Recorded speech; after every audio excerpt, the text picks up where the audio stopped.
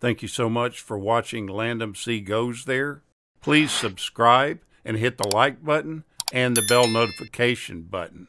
Slapshot is a 1977 sports comedy film that was directed by George Roy Hill and it was written by Nancy Dowd. It stars Paul Newman and Michael Ontkean. The storyline goes that facing closure at the end of the season, Pennsylvania's pathetic minor league ice hockey team, the Charlestown Chiefs, find themselves stuck in a long losing streak. But under those circumstances, and refusing to throw in the towel, the experienced coach, Reggie Dunlap, enlists the help of the club's newest players, that being the Hanson brothers, who specialize in foul play.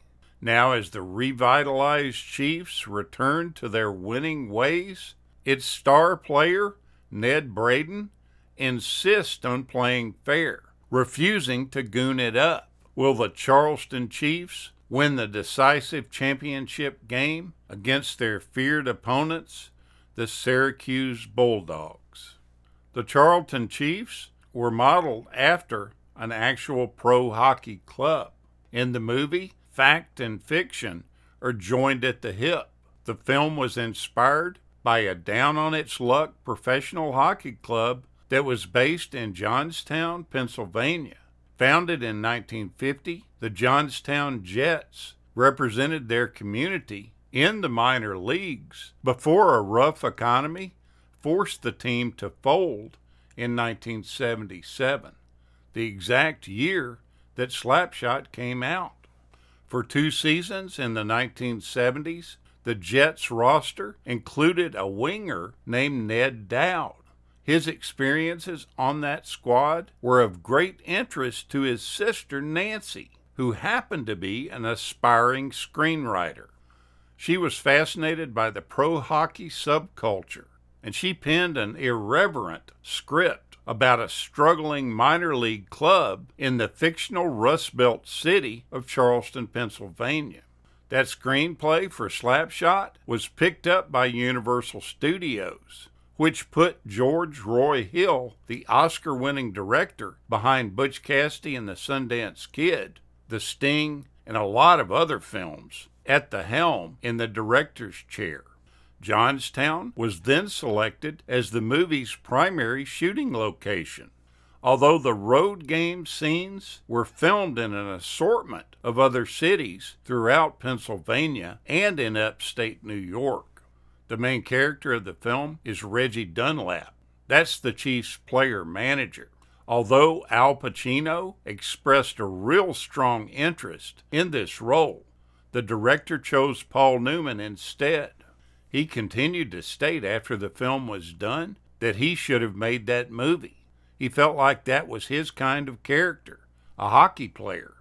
The director Hill asked Al Pacino if he could ice skate, and the answer was no. That was all the director needed to look elsewhere for an actor, and he chose Paul Newman.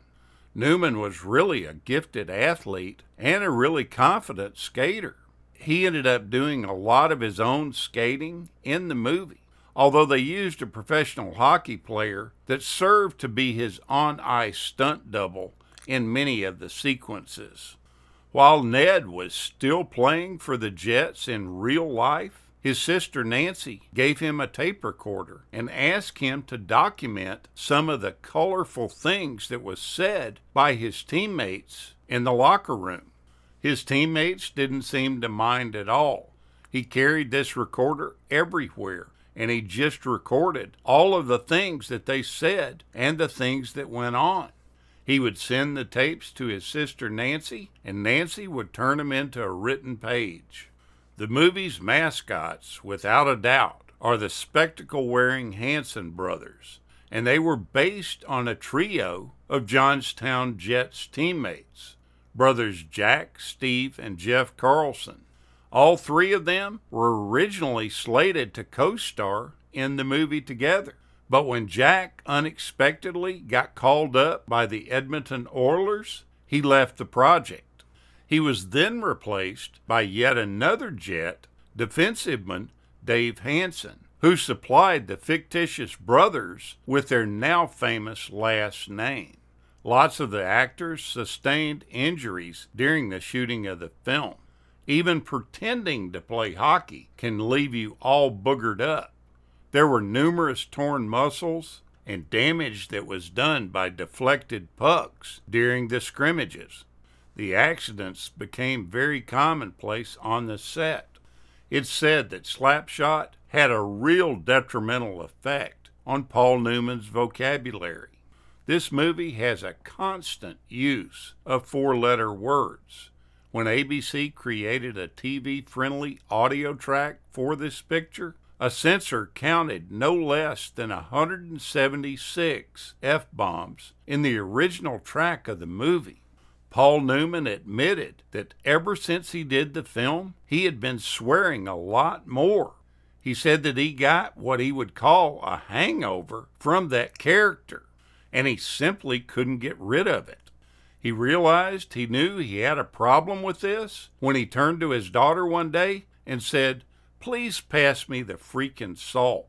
Except he didn't use the word freaking. Despite the verbal side of this film, the movie quickly became one of Paul Newman's favorite projects that he ever did. He states that he's not very happy usually with the work he does, but he loved this film. He said that it rates very high as something in which he took a lot of personal satisfaction in doing. Paul Newman burst onto the scene in a kind of odd way. He was in a TV movie that was called The Battler from October of 1955. In that film, he was originally scheduled to play Nick Adams, opposite James Dean, who was the battler. James Dean's death in a car crash on September 30th, 1955, led to them hastily rearranging the cast members for this production. Newman ended up moving into the role that James Dean was to play, and the play went out live some 19 days later, giving him some of the best notices of his career at that time. So James Dean's death ended up shooting him to the top of Hollywood actors fairly quickly. Slapshot was a moderate hit upon its release. It grossed about 28 million over its theatrical run, which placed it at number 21 among movies that was released in 1977. This was well below the grosses from Paul Newman's three previous films that were released The Towering Inferno, The Sting, and Butch Cassidy and the Sundance Kid, which all grossed over 100 million. This is a really fun film to watch. If you haven't seen it in a while, take another look at it. You'll laugh all the way through it. Thank you so much for watching, and we'll continue to chase the classics.